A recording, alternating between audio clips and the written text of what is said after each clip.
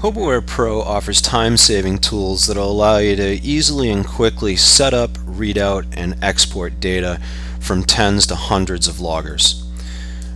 Before you do this, you need to go to the Preferences and set up a few options. As you can see, we have the launch, readout, open, and export uh, settings, which we're going to want to take a look at all these.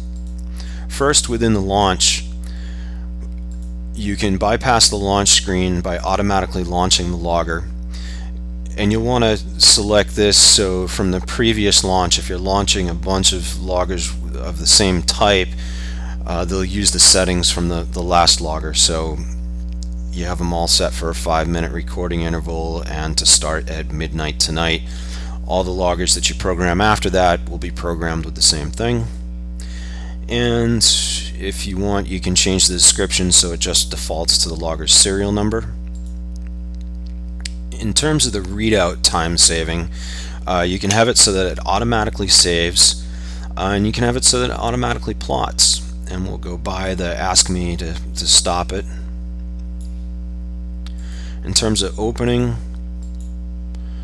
again we'll go by the plot setup and the export preferences here is worth taking a look at. Uh, you can either export this in CSV or Excel. I'm going to select Excel.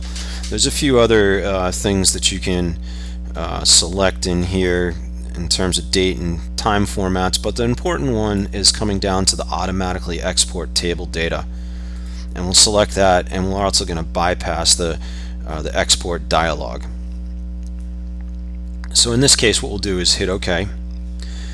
The other important thing to do is come up to device and then down to default actions. The typical default is do nothing. In this case what we're going to do uh, is every time you plug in a logger those settings that we just set up will now automatically execute that. So whether that's launching or reading out, I will do the readout. And what I'll do is plug in a UX100 logger